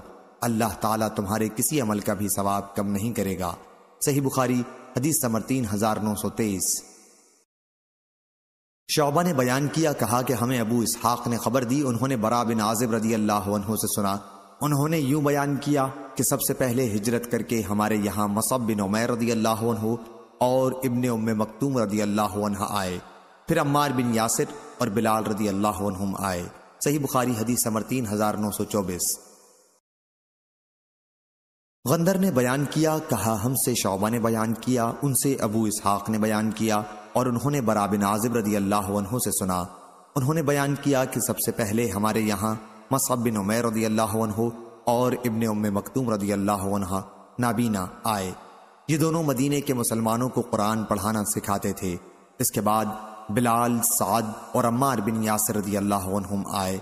फिर उमर बिन खत्ताब रदी अल्लाह हजूर करम सल्लल्लाहु अलैहि वसल्लम के 20 सहाबा को साथ लेकर आए और नबी करीम सल्लल्लाहु अलैहि वसल्लम हज़रत अबू बकर रदी अल्लाह और आमिर बिन फ़हीरा को साथ लेकर तशरीफ़ लाए। मदीना के लोगों को जितनी खुशी और मसरत हजूर अक्रम सल्लल्लाहु अलैहि वसल्लम की तशरीफ़ आवरी से हुई, मैंने कभी उन्हें किसी बात पर इस कदर खुश नहीं देखा। लोंडियाँ भी खुशी में कहने लगी कि रसूल अल्लाह सल्लल्लाहु अलैहि वसल्लम आ गए। हुजूर अकरम सल्लल्लाहु अलैहि वसल्लम जब तशरीफ़ लाए तो इससे पहले मैं मुफसल की दूसरी कई सूरतों के साथ सब हिस्म रबिकल आला भी सीख चुका था। सही बुखारी हदीस नंबर तीन हज़ार नौ सौ पच्चीस। मालिक ने खबर दी, उन्हें हुशाम बिन उर्वा ने, उन्हें उनके वालिद उर्वा बिन जुबैर ने और उनसे हज़रत आयशा रदी अल्लाह ने बयान किया कि जब रसूल अल्लाह सल्लल्लाहु अलैहि वसल्लम मदीना तशरीफ़ लाए तो अबू बकर और बिलाल रदी अल्लाह को बुखार हो गया। मैं उनकी खिदमत में हाजिर हुई और अर्ज़ किया, वालिद साहब, आपकी तबीयत कैसी है? उन्होंने बयान किया कि हज़रत अबू बकर रदी अल्लाह को जब बुखार चढ़ा तो ये शेर पढ़ने लगे। तर्जुमा, हर शख्स अपने घर वालों के साथ सुबह करता है और मौत तो जूती के तस्मे से भी ज़्यादा करीब है। और बिलाल रदी अल्लाह के बुखार में जब कुछ तकलीफ़ होती तो ज़ोर ज़ोर से रोते और ये शेर पढ़ते। काश मुझे मालूम हो जाता कि कभी मैं एक रात भी वादी मक्का में गुजार सकूँगा, जबकि मेरे इर्द गिर्द खुशबूदार घास अजखर और जलील होंगी। और क्या एक दिन भी मुझे ऐसा मिल सकेगा जब मैं मकाम मजना के पानी पर जाऊँगा, और क्या शामा और तोफेल की पहाड़ियाँ एक नज़र देख सकूँगा? आयशा रदी अल्लाह ने बयान किया कि फिर मैं हुजूर अकरम वसल्लम की खिदमत में हाजिर हुई, और आपको इसकी इतला दी तो आपने दुआ की अल्लाह मदीने की मोहब्बत हमारे दिल में उतनी पैदा कर जितनी मक्के की थी, बल्कि उससे भी ज़्यादा। यहाँ की आबो हवा को सेहत बख्श बना, हमारे लिए यहाँ के सा और मद अनाज नापने के पैमाने में बरकत इनायत फरमा और यहाँ के बुखार को मुकाम जहफा में भेज दे। सही बुखारी, हदीस नंबर तीन हज़ार नौ सौ छब्बीस। अब्दुल्ला बिन मोहम्मद मसनदी ने बयान किया, कहा हमसे हशाम बिन यूसुफ ने बयान किया, कहा हमको मुअम्मर ने खबर दी उन्हें जहरी ने कहा, मुझसे औरवा बिन जुबैर ने बयान किया। उन्हें उबैदुल्लाह बिन अदी ने खबर दी कि मैं उस्मान की खिदमत में हाजिर हुआ दूसरी सनद। और बशर बिन शुएब ने बयान किया कि मुझसे मेरे वालिद ने बयान किया। उनसे जहरी ने कहा, मुझसे औरवा बिन जुबैर ने बयान किया। और उन्हें उबैदुल्लाह बिन अदी बिन खयार ने खबर दी कि मैं उस्मान रदी अल्लाह की खिदमत में हाजिर हुआ। तो उन्होंने हमद शहादत पढ़ने के बाद फरमाया, अम्मा बाद कोई शक व शुबा नहीं कि अल्लाह ताला ने मोहम्मद सल्लल्लाहु अलैहि वसल्लम को हक के साथ मबूस किया। मैं भी उन लोगों में था जिन्होंने अल्लाह और उसके रसूल की दावत पर इब्तदा ही में लब्बैक कहा और मैं इन तमाम चीज़ों पर ईमान लाया जिन्हें लेकर आ हज़रत सल्लल्लाहु अलैहि वसल्लम मबूस हुए थे। फिर मैंने दो दफ़ा हिजरत की और हुजूर अकरम सल्लल्लाहु अलैहि वसल्लम की दामादी का शर्फ मुझे हासिल हुआ और हुजूर सल्लल्लाहु अलैहि वसल्लम से मैंने बेयत की खुदा की कसम कि मैंने आपकी न कभी नाफरमानी की और न कभी आपसे धोखाबाजी की? यहाँ तक कि आपका इंतकाल हो गया। शोएब के साथ इस रिवायत के मुताबिक इसहाक कलमी ने भी की है। उनसे जहरी ने इस हदीस को इस तरह बयान किया। सही बुखारी, हदीस नंबर तीन हज़ार नौ सौ सत्ताईस। अब्दुल्ला बिन वहाब ने बयान किया, उनसे इमाम मालिक ने बयान किया। दूसरी सनद और मुझे यूनुस ने खबर दी, उनसे इबन शहाब ने बयान किया। कहा मुझको, उबैदुल्लाह बिन अब्दुल्लाह ने खबर दी और उन्हें इबन अब्बास रदी अल्लाह ने खबर दी कि अब्दुलरहमान बिन औफ रदी अल्लाह मिना में अपने खैमे की तरफ़ वापस आ रहे थे। ये उमर रदी अल्लाह के आखिरी हज का वाक़ है। तो उनकी मुझसे मुलाकात हो गई। उन्होंने कहा कि उमर रदी अल्लाह हाजियों को खिताब करने वाले थे। इसलिए मैंने अर्ज़ किया कि अमीर अमीरमिन मौसम हज में मामूली सूझबूझ रखने वाले सब तरह के लोग जमा होते हैं और शोरगुल बहुत होता है। इसलिए मेरा ख्याल है कि आप अपना इरादा मौकूफ कर दें और मदीना पहुंचकर खिताब फरमाएँ, क्योंकि वो हिजरत और सुन्नत का घर है। और वहाँ समझदार मुआज़ और साहिब अक्ल लोग रहते हैं। इस पर उमर अल्लाह उन्होंने कहा कि तुम ठीक कहते हो। मदीना पहुँचते ही सबसे पहली फुर्सत में लोगों को खिताब करने के लिए ज़रूर खड़ा होऊँगा। सही बुखारी, हदीस नंबर तीन हज़ार नौ सौ अट्ठाईस। इब्राहिम बिन साद ने बयान किया, उन्हें इब्ने शहाब ने खबर दी, उन्हें खारिजा बिन जैद बिन साबित ने कि उनकी वालिदा उम्म उला रदी अल्लाह एक अंसारी खातून जिन्होंने नबी करीम सल्लल्लाहु अलैहि वसल्लम से बैत की थी, ने उन्हें खबर दी कि जब अंसार ने महाजरीन की मेजबानी के लिए कुरा डाला तो उस्मान बिन मजून उनके घराने के हिस्से में आए थे। उम्म उला रदी अल्लाह ने बयान किया कि फिर उस्मान रदी अल्लाह हमारे यहाँ बीमार पड़ गए। मैंने उनकी पूरी तरह तयमारदारी की लेकिन वो न बच सके। हमने उन्हें उनके कपड़ों में लपेट दिया था। इतने में नबी करीम सल्लल्लाहु अलैहि वसल्लम भी तशरीफ़ लाए। तो मैंने कहा, अबू साहिब उस्मान रदी अल्लाह की कुनियत, तुम पर अल्लाह की रहमतें हों। मेरी तुम्हारे मुतालिक गवाही है कि अल्लाह ताला ने तुम्हें अपने इकराम से नवाजा है। ये सुनकर हुजूर अकरम सल्लल्लाहु अलैहि वसल्लम ने फरमाया, तुम्हें यह कैसे मालूम हुआ कि अल्लाह ताला ने इन्हें अपने इकराम से नवाजा है? मैंने अर्ज़ किया, मुझे तो इस सिलसिले में कुछ खबर नहीं है। मेरे माँ बाप आप पर फिदा हूँ या रसूल अल्लाह लेकिन और किसे नवाजेगा? हुजूर सल्लल्लाहु अलैहि वसल्लम ने फरमाया, इसमें तो वाकई कोई शक व शुबा नहीं कि एक यकीनी अमर मौत इनको आ चुकी है। खुदा की कसम कि मैं भी इनके लिए अल्लाह ताला से खैर खाही की उम्मीद रखता हूँ, लेकिन मैं, हालाँकि अल्लाह का रसूल हूँ तो खुद अपने मुतालिक नहीं जान सकता कि मेरे साथ क्या मामला होगा। उम्म रदी अल्लाह ने अर्ज़ किया फिर खुदा की कसम इसके बाद मैं अब किसी के बारे में इसकी पाकी नहीं करूँगी। उन्होंने बयान किया कि इस वाक़े पर मुझे बड़ा रंज हुआ। फिर मैं सो गई तो मैंने ख्वाब में देखा कि उस्मान बिन मजून के लिए एक बहता हुआ चश्मा है। मैं आपकी खिदमत में हाजिर हुई और आपसे अपना ख्वाब बयान किया तो आपने फरमाया कि ये उनका अमल था। सही बुखारी, हदीस नंबर तीन हज़ार नौ सौ उनतीस। अबू उसामा ने बयान किया, उनसे हिशाम ने, उनसे उनके वालिद ने और उनसे आयशा रदी अल्लाह ने बयान किया कि बास की लड़ाई को अंसार के कबाइल ओस खजरज के दरमियान अल्लाह ताला ने रसूल अल्लाह सल्लल्लाहु अलैहि वसल्लम के मदीने में आने से पहले ही बर्पा करा दिया था। चुनाचा जब आप मदीने में तशरीफ़ लाए तो अंसार में फूट पड़ी हुई थी और उनके सरदार कत्ल हो चुके थे। इसमें अल्लाह की यह हिकमत मालूम होती है कि अंसार इस्लाम कबूल कर लें। सही बुखारी, हदीस नंबर तीन हज़ार नौ सौ तीस। मोहम्मद बिन मसना ने बयान किया, कहा, हमसे गंदर ने बयान किया, उनसे शौबा ने बयान किया, उनसे हशाम ने, उनसे उनके वालिद ने और उनसे हज़रत आयशा रदी अल्लाह ने। क्या हज़रत अबू बकर सिद्दीक रदी अल्लाह उनके यहाँ आए? तो नबी करीम सल्लल्लाहु अलैहि वसल्लम भी वहीं तशरीफ़ रखते थे। ईद फित्र या ईद अजहा का दिन था। दो लड़कियाँ योम बास के बारे में वो अशार पढ़ रही थीं, जो अंसार के शौरा ने अपने फख्र में कहे थे। हज़रत अबू बकर अल्लाह ने कहा, ये शैतानी गाने बाजे आ हज़रत वसल्लम के घर में। दो मरतबा उन्होंने ये जुमला दोहराया, लेकिन आपने फरमाया, अबू बकर, इन्हें छोड़ दो। हर कौम की ईद होती है, और हमारी ईद आज का ये दिन है। सही बुखारी, हदीस नंबर तीन हज़ार नौ सौ इकतीस। मुस्दद ने बयान किया, कहा, हमसे अब्दुल वारिस ने बयान किया, दूसरी सनद और हमसे इसहाक बिन मंसूर ने बयान किया। कहा, हमको अब्दुल समद ने खबर दी। कहा कि मैंने अपने वालिद अब्दुल वारिस से सुना। उन्होंने बयान किया कि हमसे Abu Tayyah Yazid bin Hamid Sawai ने बयान किया। कहा कि मुझसे हज़रत अनस बिन मालिक रदी अल्लाह ने बयान किया। उन्होंने कहा कि जब नबी करीम सल्लल्लाहु अलैहि वसल्लम मदीना तशरीफ़ लाए तो मदीने के बुलंद जानब कबा के एक मोहल्ले में आपने सबसे पहले कयाम किया, जिसे बनी उमरो बिन औफ का मोहल्ला कहा जाता था। रावी ने बयान किया कि हुजूर सल्लल्लाहु अलैहि वसल्लम ने वहाँ चौदह रात कयाम किया। फिर आपने कबीला बनी नज्जार के लोगों को बुला भेजा। उन्होंने बयान किया कि अंसार बनी नजार आपकी खिदमत में तलवारें लटकाए हुए हाजिर हुए। रावी ने बयान किया, गोया इस वक्त भी वो मंजर मेरी नज़रों के सामने है। क्या हज़रत सल्लल्लाहु अलैहि वसल्लम अपनी सवारी पर सवार हैं? हज़रत अबू बकर सिद्दीक रदी अल्लाह उसी सवारी पर आपके पीछे सवार हैं और बनी नजार के अंसार आपके चारों तरफ़ हल्का बनाए हुए मुसल्लाह पैदल चले जा रहे हैं। आखिर आप हज़रत अबू अयूब अंसारी के घर के करीब उतर गए। रावी ने बयान किया कि अभी तक जहाँ भी नमाज़ का वक्त हो जाता, वहीं आप नमाज़ पढ़ लेते थे। बकरियों के रेवड़ जहाँ रात को बांधे जाते, वहाँ भी नमाज़ पढ़ ली जाती थी। बयान किया कि फिर हुजूर सल्लल्लाहु अलैहि वसल्लम ने मस्जिद की तामीर का हुक्म फरमाया, आपने इसके लिए कबीला बनी नज्जार के लोगों को बुला भेजा।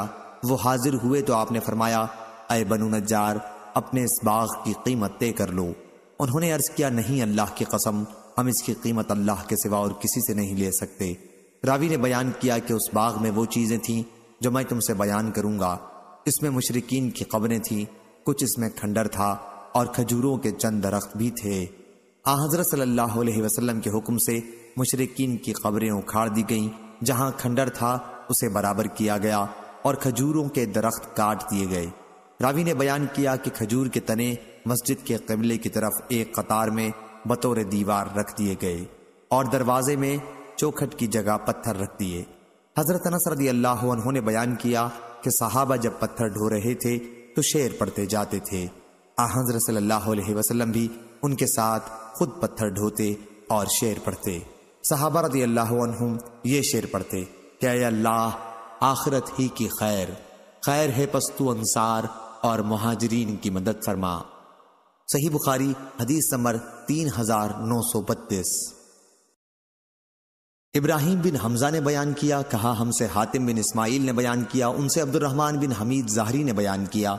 उन्होंने खलीफा उमर बिन अब्दुल अज़ीज़ से सुना, वो नमरकंदी के भांजे साइब बिन यजीद से दरियाफ्त कर रहे थे कि तुमने मक्के में महाजिर के ठहरने के मसले में क्या सुना है?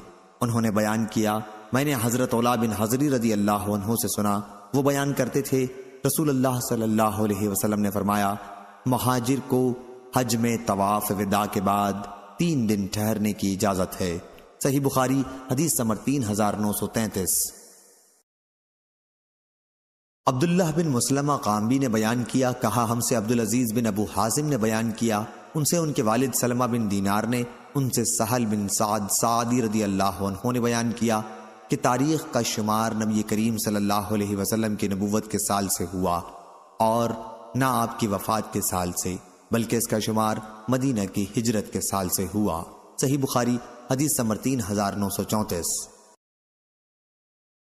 यजीद बिन जरी ने बयान किया, कहा, हमसे मोहम्मर ने बयान किया, उनसे जाहरी ने, उनसे उर्वा ने और उनसे हज़रत आयशा रदी अल्लाह ने बयान किया कि पहले नमाज़ सिर्फ़ दो रकत फ़र्ज़ हुई थी। फिर नबी करीम सल्लल्लाहु अलैहि वसल्लम ने हिजरत की तो वो फ़र्ज़ रकात, चार रकात हो गईं। अलबत्ता सफ़र की हालत में नमाज़ अपनी हालत में बाकी रखी गई। इस रिवायत के मुताबिक अब्दुलरजाक ने मुआमर से की है। सही बुखारी हदीस नंबर तीन हज़ार नौ सौ पैंतीस। याहिया बिन कजा ने बयान किया, कहा, हमसे इब्राहिम बिन साद ने बयान किया, उनसे जहरी ने, उनसे आमिर बिन साद बिन मालिक ने और उनसे उनके वालिद, हज़रत साद बिन अबी वकास रदी अल्लाह ने बयान किया कि नबी करीम सल्लल्लाहु अलैहि वसल्लम दस हिजरी के मौके पर मेरी मिजाज पुरसी के लिए तशरीफ़ लाए।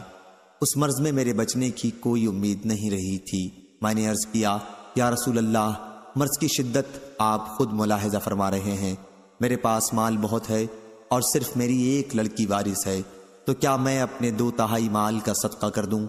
आ, हज़रत सल्लल्लाहु अलैहि वसल्लम ने फरमाया कि नहीं, मैंने अर्ज़ किया फिर आधे का कर दूँ। फरमाया कि साद, बस एक तहाई का कर दो, ये भी बहुत है। अगर अपनी औलाद को मालदार छोड़कर जाए तो ये उससे बेहतर है कि उन्हें मोहताज छोड़े और वो लोगों के सामने हाथ फैलाते फिरें। अहमद बिन यूनुस ने बयान किया, उनसे इब्राहिम बिन साद ने कि तुम अपनी औलाद को छोड़कर जो कुछ भी खर्च करोगे और उससे अल्लाह ताला की रजामंदी मकसूद होगी तो अल्लाह ताला तुम्हें उसका सवाब देगा। अल्लाह तुम्हें इस लुकमे पर भी सवाब देगा, जो तुम अपनी बीवी के मुँह में डालो। मैंने पूछा, या रसूल अल्लाह सल्लल्लाहु अलैहि वसल्लम, क्या मैं अपने साथियों से पीछे मक्के में रह जाऊँगा? आ, हज़रत सल्लल्लाहु अलैहि वसल्लम ने फरमाया, कि तुम पीछे नहीं रहोगे, और तुम जो भी अमल करोगे और उससे मकसूद अल्लाह ताला की रजामंदी होगी तो तुम्हारा मर्तबा उसकी वजह से बुलंद होता रहेगा। और शायद तुम अभी बहुत दिनों तक ज़िंदा रहोगे, तुमसे बहुत से लोगों, मुसलमानों को नफा पहुंचेगा, और बहुतों को गैर मुस्लिमों को नुकसान होगा। अय अल्लाह, मेरे साहबा की हिजरत पूरी कर दे, और इन्हें उल्टे पाँव वापस न कर, कि वो हिजरत को छोड़कर अपने घरों को वापस आ जाएँ। अलबत् साद बिन खौला नुकसान में पड़ गए, और अहमद बिन यूनुस और मूसा बिन इस्माइल ने इस हदीस को इब्राहिम बिन साद से रिवायत किया। इसमें अपनी औलाद जुर्रियत को छोड़ो के बजाय तुम अपने वारिसों को छोड़ो, ये अल्फाज मरवी हैं। सही बुखारी, हदीस नंबर तीन हज़ार नौ सौ छत्तीस। यूसुफ बेकंदी ने बयान किया, उनसे सुफियान बिन आइना ने बयान किया, उनसे हमीद तवील ने और उनसे अनस रदी अल्लाह ने बयान किया कि जब अब्दुलरहमान बिन औफ रदी अल्लाह हिजरत करके आए तो आ हज़रत सल्लल्लाहु अलैहि वसल्लम ने उनका भाईचारा साद बिन रबी अंसारी के साथ कराया था। साद ने उनसे कहा कि उनके अहल माल में से आधा वो कबूल कर लें। लेकिन अब्दुलरहमान रदी अल्लाह उन्होंने कहा कि अल्लाह ताला आपके अहल माल में बरकत दे। आप तो मुझे बाज़ार का रास्ता बता दें। चनाचा उन्होंने तजारत शुरू कर दी और पहले दिन उन्हें कुछ पनीर और घी में नफा मिला। चंद दिनों के बाद उन्हें नबी करीम सल्लल्लाहु अलैहि वसल्लम ने देखा कि उनके कपड़ों पर खुशबू की जर्दी का निशान है। तो आपने फरमाया अब्दुलरहमान ये क्या है? उन्होंने अर्ज़ किया, या रसूल अल्लाह मैंने एक अंसारी औरत से शादी कर ली है। हुजूर सल्लल्लाहु अलैहि वसल्लम ने फरमाया कि उन्हें महर में तुमने क्या दिया? उन्होंने बताया कि एक गुठली बराबर सोना। हुजूर सल्लल्लाहु अलैहि वसल्लम ने फरमाया, अब वलीमा कर, खाह एक ही बकरी का हो। सही बुखारी, हदीस नंबर तीन हज़ार नौ सौ सैंतीस। हामिद बिन उमर ने बयान किया, कहा, हमसे बशर बिन मुफजल ने, उनसे हमीद तवील ने बयान किया और उनसे हज़रत अनस रदी अल्लाह ने, कि जब अब्दुल्लाह बिन सलाम रदी अल्लाह को रसूल सल्लल्लाहु अलैहि वसल्लम के मदीना आने की खबर हुई तो वो आपसे चंद सवाल करने के लिए आए। उन्होंने कहा कि मैं आपसे तीन चीज़ों के मुतालिक पूछूँगा, जिन्हें नबी सल्लल्लाहु अलैहि वसल्लम के सिवा और कोई नहीं जानता। कयामत की सबसे पहली निशानी क्या होगी? अहल जन्नत की जियाफत सबसे पहले किस खाने से की जाएगी? और क्या बात है कि बच्चा कभी बाप पर जाता है और कभी माँ पर? हुजूर सल्लल्लाहु अलैहि वसल्लम ने फरमाया कि जवाब अभी मुझे हज़रत जबरील ने आकर बताया है। अब्दुल्लाह बिन सलाम ने कहा कि ये मलाइका में यहूदियों के दुश्मन हैं। आपने फरमाया, कयामत की पहली निशानी एक आग है, जो इंसानों को मशरक से मगरिब की तरफ़ ले जाएगी। जिस खाने से सबसे पहले अहल जन्नत की जियाफत होगी, वो मछली की कलेजी का बड़ा हुआ टुकड़ा होगा, जो नहायत लजीज और जूद हजम होता है। और बच्चा बाप की सूरत पर उस वक्त जाता है जब औरत के पानी पर मर्द का पानी गालिब आ जाए और जब मर्द के पानी पर औरत का पानी गालिब आ जाए तो बच्चा माँ पर जाता है। अब्दुल्लाह बिन सलाम रदी अल्लाह ने कहा, मैं गवाही देता हूँ कि अल्लाह के सिवा और कोई मबूद नहीं। और गवाही देता हूँ कि आप अल्लाह के रसूल हैं। फिर उन्होंने अर्ज़ किया, या रसूल अल्लाह यहूदी बड़े बोहतान लगाने वाले लोग हैं। इसलिए आप इससे पहले कि मेरे इस्लाम के बारे में उन्हें कुछ मालूम हो, उनसे मेरे मुतालिक दरियाफ्त फरमाएँ। चुनाचा चंद यहूदी आए तो आपने उनसे फरमाया कि तुम्हारी कौम में अब्दुल्ला बिन सलाम कौन है? वो कहने लगे कि हम में सबसे बेहतर और सबसे बेहतर के बेटे हैं।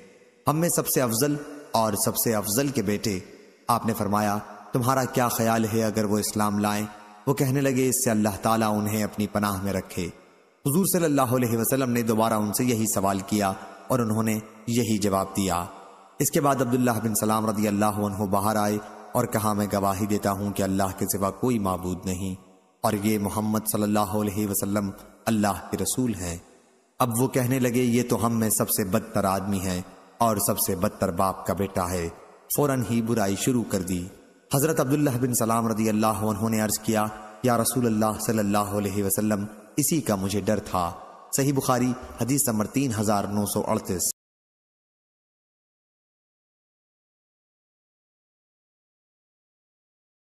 मुस्लिम बिन इब्राहिम ने बयान किया, कहा, हमसे खुजा बिन खालिद ने बयान किया, उनसे मोहम्मद बिन सेरीन ने और उनसे हज़रत अबू हुरेरा रदी अल्लाह ने, कि नबी करीम सल्लल्लाहु अलैहि वसल्लम ने फरमाया, अगर दस यहूदी, अहबार अलमाई मुझ पर ईमान ले आए तो तमाम यहूद मुसलमान हो जाते। सही बुखारी, हदीस नंबर तीन हज़ार नौ सौ इकतालीस।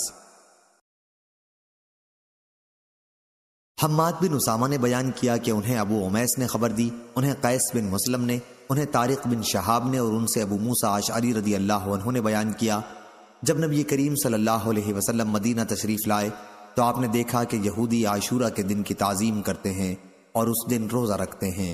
आ हज़रत सल्लल्लाहु अलैहि वसल्लम ने फरमाया कि हम इस दिन रोज़ा रखने के ज़्यादा हकदार हैं, चुनाचा आपने इस दिन के रोज़े का हुक्म दिया। सही बुखारी, हदीस नंबर तीन हज़ार नौ सौ बयालीस। जयाद बिन अयूब ने बयान किया, उन्होंने कहा कि हमसे हशीम ने बयान किया, उन्होंने कहा हमसे अबू बशर जाफ़र ने बयान किया, उनसे सईद बिन जबीर ने और उनसे इबन अब्बास रदी अल्लाह उन्होंने बयान किया कि जब नबी करीम सल्लल्लाहु अलैहि वसल्लम मदीना तशरीफ़ लाए तो आपने देखा कि यहूदी आशूरा के दिन रोजा रखते हैं। इसके मुतालिक उनसे पूछा गया तो उन्होंने बताया कि ये वो दिन है जिसमें अल्लाह ताला ने मूसा और बनी इसराइल को फिरौन पर फतह इनायत फरमाई थी। चुनाचा इस दिन की ताजीम में रोजा रखते हैं। आ, हज़रत वसल्लम ने फरमाया कि हम मूसा से तुम्हारी बनस्बत ज़्यादा करीब हैं और आपने इस दिन रोजा रखने का हुक्म दिया। सही बुखारी, हदीस नंबर तीन हज़ार नौ सौ तिरालीस अब्दुल्लाह बिन मुबारक ने बयान किया। उन्होंने कहा कि हमसे यूनुस ने, उनसे जाहरी ने बयान किया। कहा, मुझको उबैदुल्लाह बिन अब्दुल्लाह बिन उतबा ने खबर दी। उनसे हज़रत अब्दुल्लाह बिन अब्बास रदी अल्लाह उन्होंने कहा कि नबी करीम सल्लल्लाहु अलैहि वसल्लम सर के बाल को पेशानी पर लटका देते थे और मुशरकिन मांग निकालते थे और अहले किताब भी अपने सरों के बाल पेशानी पर लटकाए रहने देते थे। जिन उमूर में नबी करीम सल्लल्लाहु अलैहि वसल्लम को वही के ज़रिए कोई हुक्म नहीं होता था, आप उनमें अहले किताब की मुआफ़त पसंद करते थे। फिर बाद में आ हज़रत सल्लल्लाहु अलैहि वसल्लम भी मांग निकालने लगे थे। सही बुखारी, हदीस नंबर तीन हज़ार नौ सौ चौवालीस। हशीम ने बयान किया, कहा, हमको अबू बशर ने खबर दी। उन्हें सईद बिन जबीर ने और उनसे इबन अब्बास रदी अल्लाह ने कहा कि वो अहले किताब ही तो हैं जिन्होंने आसमानी किताब को टुकड़े टुकड़े कर डाला, बाज बातों पर ईमान लाए और बाज बातों का इनकार किया। सही बुखारी, हदीस नंबर तीन हज़ार नौ सौ पैंतालीस। मोतमर ने बयान किया कि मेरे वालिद सुलेमान बिन तरखान ने बयान किया। दूसरी सनद और हमसे अबू उस्मान नाहदी ने बयान किया, कहा, मैंने सुना सलमान फारसी रदी अल्लाह से कि उनको कुछ ऊपर दस आदमियों ने एक मालिक से बदला, दूसरे से मालिक ने खरीदा। सही बुखारी, हदीस नंबर तीन हज़ार नौ सौ छियालीस। इब्न आईना ने बयान किया, उनसे औफ आराबी ने उनसे अबू उस्मान नाहदी ने बयान किया, कहा, मैंने हज़रत सलमान फारसी से सुना। वो बयान करते थे कि मैं राम हरमज फारस में एक मकाम है का रहने वाला हूँ। सही बुखारी, हदीस नंबर तीन हज़ार नौ सौ सैतालीस। याहिया बिन हम्माद ने बयान किया, कहा, हमको अबू इवाना ने खबर दी, उन्हें आसिम अहूल ने, उन्हें अबू उस्मान नाहदी ने और उनसे हज़रत सलमान फारसी रदी अल्लाह ने बयान किया। ईसा अलैहिस्सलाम और मोहम्मद सल्लल्लाहु अलैहि वसल्लम के दरमियान में फतरत का जमाना, यानी जिसमें कोई पैगंबर नहीं आया 600 बरस का वक्फा गुजरा है। सही बुखारी हदीस नंबर तीन हज़ार नौ सौ अड़तालीस। वहाब ने बयान किया, उनसे शोबा ने, उनसे अबू इसहाक ने कि मैं एक वक्त हज़रत जैद बिन अरकम रदी अल्लाह के पहलू में बैठा हुआ था। उनसे पूछा गया था कि नबी करीम सल्लल्लाहु अलैहि वसल्लम ने कितने गजबे किए। उन्होंने कहा, उन्नीस। मैंने पूछा, आप हुजूर सल्लल्लाहु अलैहि के साथ कितने गजबात में शरीक रहे? तो उन्होंने कहा कि सत्रह में। मैंने पूछा, आप सल्लल्लाहु अलैहि का सबसे पहला गजबा कौन सा था? कहा कि असीरा या अशीरा। फिर मैंने इसका ज़िक्र कतादा से किया तो उन्होंने कहा कि सही लफ्ज अशीरा है। सही बुखारी हदीस नंबर तीन हज़ार नौ सौ उनचास। अहमद बिन उस्मान ने बयान किया, हमसे शरीह बिन मुसलमा ने बयान किया, हमसे इब्राहिम बिन यूसुफ ने बयान किया, उनसे उनके वालिद ने, उनसे अबू इसहाक ने बयान किया, कि मुझसे उमरो बिन मैमून ने बयान किया। उन्होंने अब्दुल्ला बिन मसूद रदी अल्लाह से सुना वो हज़रत साद बिन माज रदी अल्लाह से बयान करते थे। उन्होंने कहा कि वो उमैया बिन खलफ के जाहिलियत के ज़माने से दोस्त थे और जब भी उमैया मदीने से गुजरता तो उनके यहाँ कयाम करता था। इस तरह हज़रत साद रदी अल्लाह जब मक्के से गुजरते तो उमैया के यहाँ कयाम करते। जब नबी करीम सल्लल्लाहु मदीना हिजरत करके तशरीफ़ लाए तो एक मरतबा हज़रत साद रदी अल्लाह मक्का उम्र के इरादे से गए और उमैया के पास कयाम किया। उन्होंने उमैया से कहा कि मेरे लिए कोई तन्हाई का वक्त बताओ, ताकि मैं बैतुल्लाह का तवाफ करूँ। चुनाचा उमैया उन्हें दोपहर के वक्त साथ लेकर निकला। उनसे अबू जहल की मुलाकात हुई। उसने पूछा, अबू सफ़ान ये तुम्हारे साथ कौन है? उमैया ने बताया कि ये साद बिन माज रदी अल्लाह हैं। अबू जहल ने कहा, मैं तुम्हें मक्के में अमन के साथ तवाफ करता हुआ न देखूँ। तुम लोगों ने बेदीनों को पनाह दे रखी है, और इस ख्याल में हो कि तुम लोग इनकी मदद करोगे। खुदा की कसम अगर इस वक्त तुम अबू सफ़ान उमैया के साथ न होते तो अपने घर सलामती से नहीं जा सकते थे। इस पर साद ने कहा कि इस वक्त उनकी आवाज़ बुलंद हो गई थी कि अल्लाह की कसम, अगर आज तुमने मुझे तवाफ से रोका तो मैं भी मदीने की तरफ़ से तुम्हारा रास्ता बंद कर दूँगा, और ये तुम्हारे लिए बहुत सी मुश्किल का बायस बन जाएगा। उमैया कहने लगा, साद अबुल हकम अबू जहल के सामने बुलंद आवाज़ से न बोलो, ये वादी का सरदार है। साद रदी अल्लाह उन्होंने कहा, उमैया इस तरह की गुफ्तगु न करो। अल्लाह की कसम के मैं रसूल अल्लाह सल्लल्लाहु अलैहि वसल्लम से सुन चुका हूँ। तू इनके हाथों से मारा जाएगा। उमैया ने पूछा, क्या मक्के में मुझे कत्ल करेंगे? उन्होंने कहा कि इसका मुझे इल्म नहीं। उमैया ये सुनकर बहुत घबराया और जब अपने घर लौटा तो अपनी बीवी से कहा, उम्म सफ़ान देखा नहीं साद मेरे मुतालिक क्या कह रहे हैं? उसने पूछा, क्या कह रहे हैं?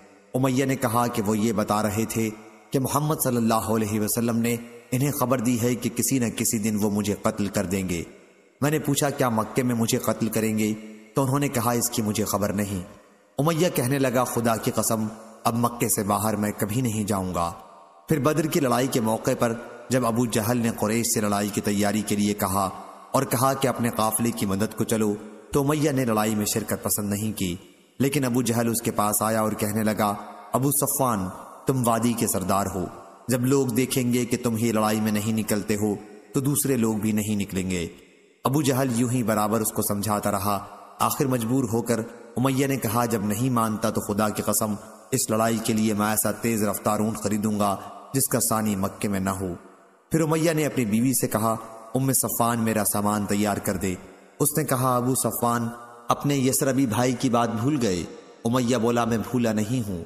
उनके साथ सिर्फ़ थोड़ी दूर तक जाऊँगा जब उमैया निकला तो रास्ते में जिस मंजिल पर भी ठहरना होता, ये अपना ऊँट अपने पास ही बांधे रखता। वो बराबर ऐसी ही एहतियात करता रहा, जहाँ तक कि अल्लाह ताला ने उसे कत्ल करा दिया। सही बुखारी, हदीस नंबर तीन हज़ार नौ सौ पचास।